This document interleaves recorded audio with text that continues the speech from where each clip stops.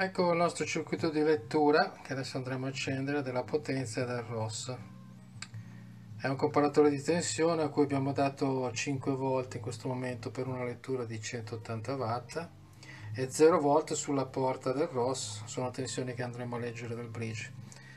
Grazie al potenziometro andremo a incrementare la lettura del ROS gradatamente finché vedremo scattare relè di protezione quindi siamo ROS 1.5 simuliamo le condizioni di funzionamento. Vedremo che come il ROS supera il 2 si accende il led e scatta il relè.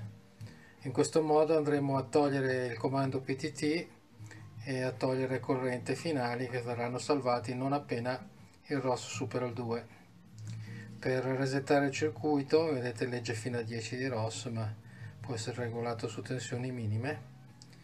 Finché non andremo a togliere tensione al nostro finale di potenza rimarrà in protezione. Quindi togliamo l'alimentazione la ridiamo e avremo di nuovo il circuito funzionante il PTT ripristinato e l'alimentazione.